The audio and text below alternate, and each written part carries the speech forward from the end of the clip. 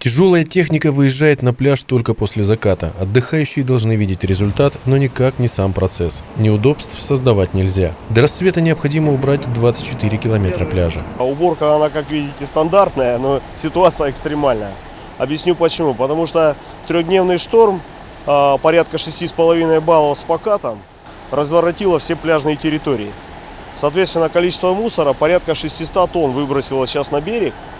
Все это смешано с ливневыми какими-то вещами, пляжные какие-то территории разворотило, а, навесы теневые и тому подобное. Весь основной мусор еще днем был собран в куче. Шесть тракторов подбирают остатки, баронят песок. Тяжелая Татра, а только они могут без проблем передвигаться по песку, за один раз вывозят около 15 тонн. Этой ночью здесь работает 4 машины. Чтобы убрать весь мусор, каждой из них необходимо сделать 40 рейсов на спецполигон.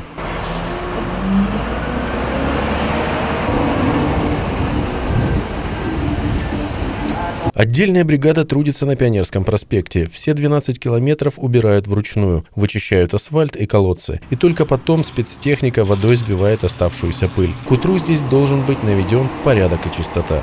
Сергей Корабельников, Никита Бойко, Михаил Григорьев, Анапа регион.